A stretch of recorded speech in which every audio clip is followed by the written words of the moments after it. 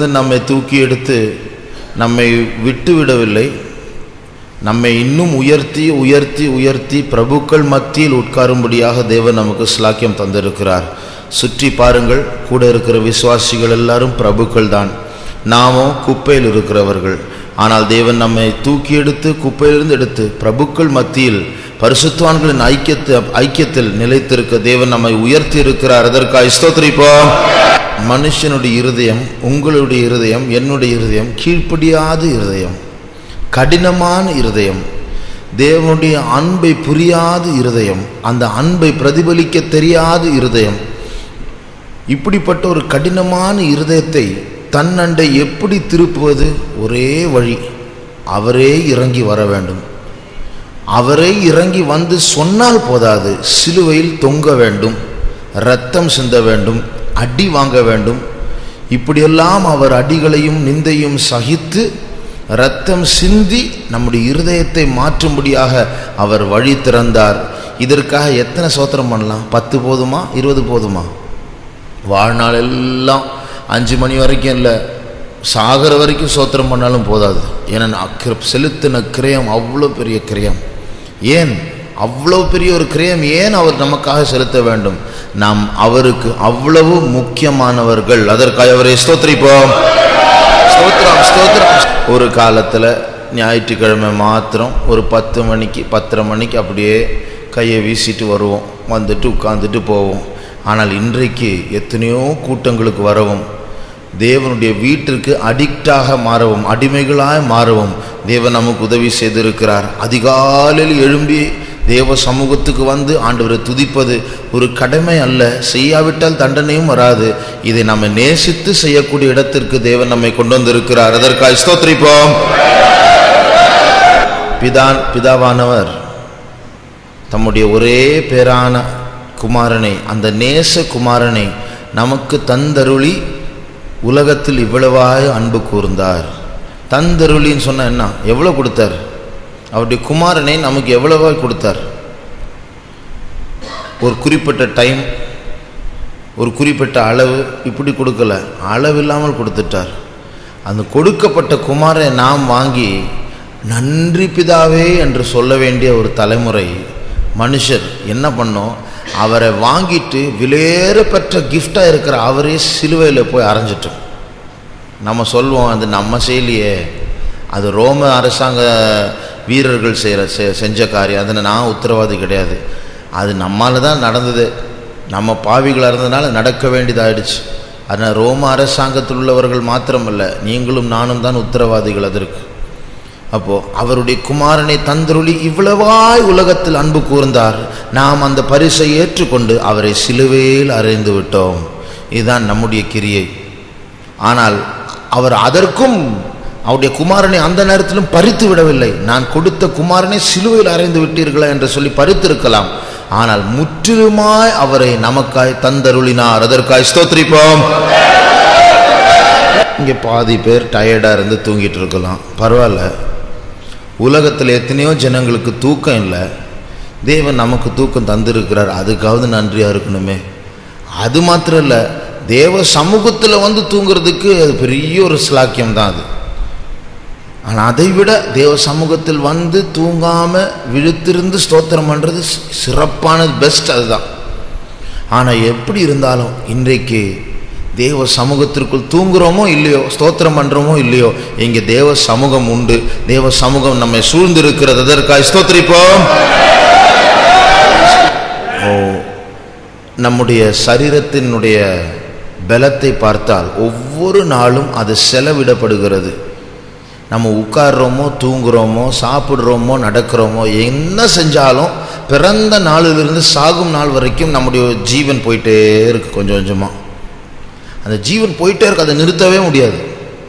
நின்னாலும் அது போயிட்டே இருக்குது வயசாகிட்டே இருக்கும். அது உட்கார்ந்தாலும் படுத்தாலும் எவ்வளோ பாதுகாத்து வச்சாலும் அது நிற்காது அது போயிட்டே இருக்கும். ஆனால் போகிறது எங்கே போகுது? அதுதான் கேள்வி.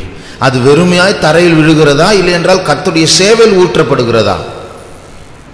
அதனால் நாம் கர்த்தருக்காக எங்கெல்லாம் பிரயாசப்படுகிறோமோ எங்கெல்லாம் கர்த்தருடைய காரியங்களில் ஒரு தியாகம் இருக்கிறதோ அந்த ஜீவனை நாம் மறுபடியுமாக பரலோகத்தில் கண்டுபிடிக்கலாம்.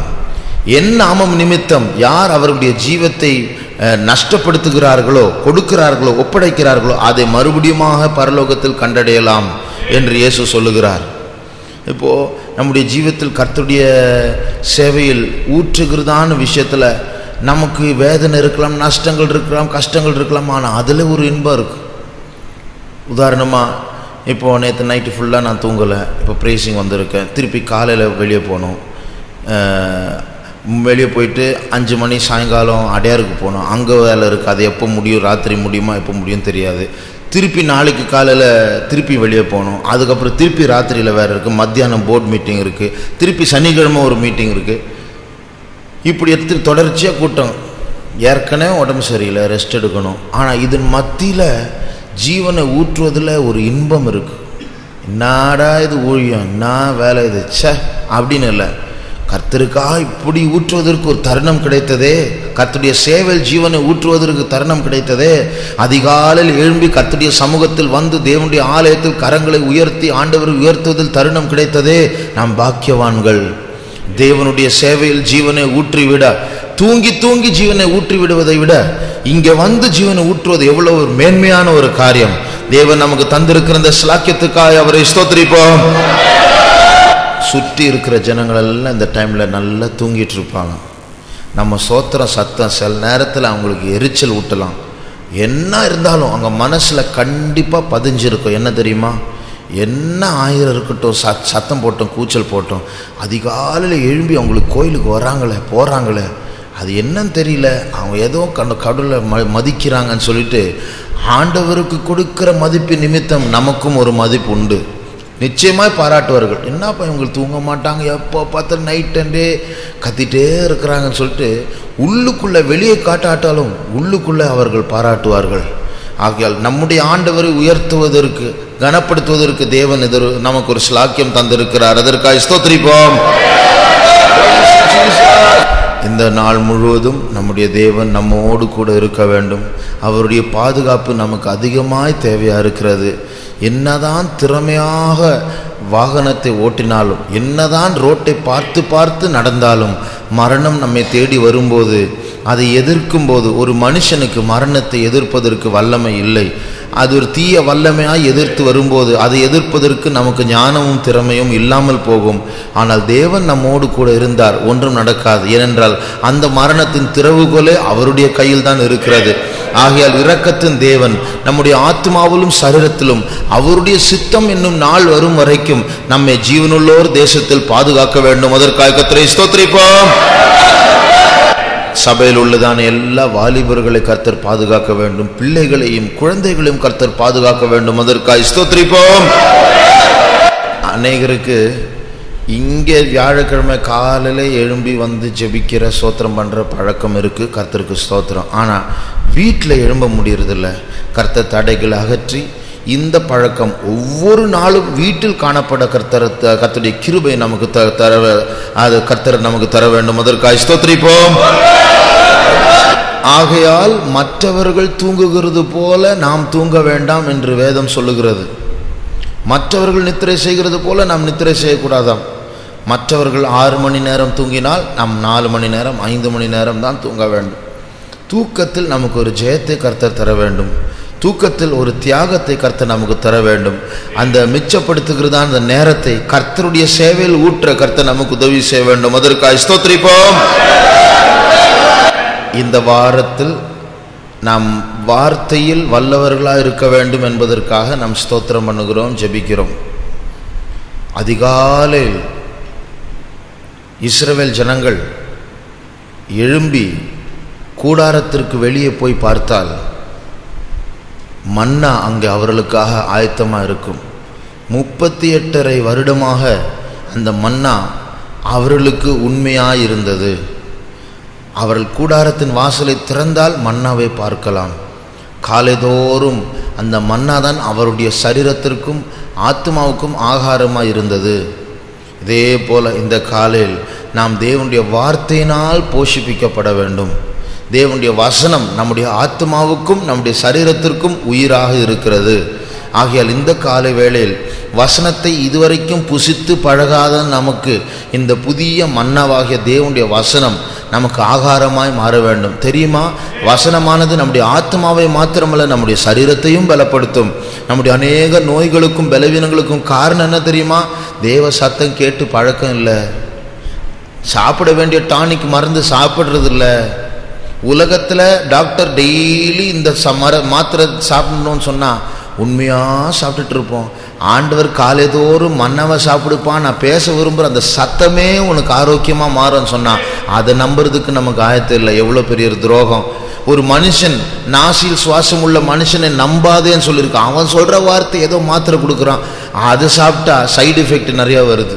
ஆனால் ஆண்டவர்களுடைய மன்னாவை சாப்பிட்டால் அது சைடு எஃபெக்ட் எல்லாம் கிடையாது. நல்ல எஃபெக்ட் தான். சரீரத்துக்கு ஆரோக்கியம் ஆத்மாவுக்கு ஆரோக்கியம் மனக்கண்கள் பிரகாசிக்கப்படும். வாழ்நாளெல்லாம் அதே தியானித்து ஓட்டத்தை ஓடி ஜெயத்தோடு ஓடி முடிக்கலாம். ஆகையால் தேவன் நமக்காக இந்த காலையில் வைத்திருக்கிற மன்னாவை புசிக்க நமக்கு ஞானத்தை தர வேண்டும். நமக்கு ஆவிக்குரிய பார்வையை தர வேண்டும். வெளிப்பாடை தர வேண்டும். வார்த்தையில் வல்லவர்களாய் நம்மை மாற்ற வேண்டும். அதற்காக ஸ்தோத்ரிப்போம் கர்த்தருடைய வார்த்தை அது எப்படிப்பட்டதென்றால் அது சூரிய வெளிச்சம் உதிக்கும் போதே அது கரைஞ்சிரும். அப்படியே இல்லாமல் போயிடும் அந்த மண்ணா. அதனுடைய அர்த்தம் என்னன்னா நாள் நாளானது இந்த காலை என்று சொல்லும்போது அது மத்தியானமாக மாறுவதற்குள்ளாக எத்தனையோ ஜனங்கள் பேசுவாங்க.